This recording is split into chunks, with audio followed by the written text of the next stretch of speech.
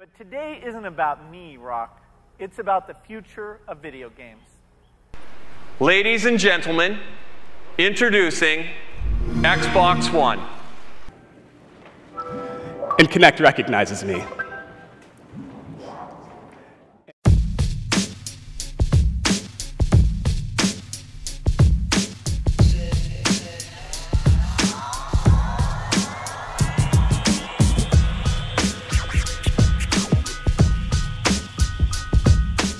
Ladies and gentlemen, this is your new Xbox 360.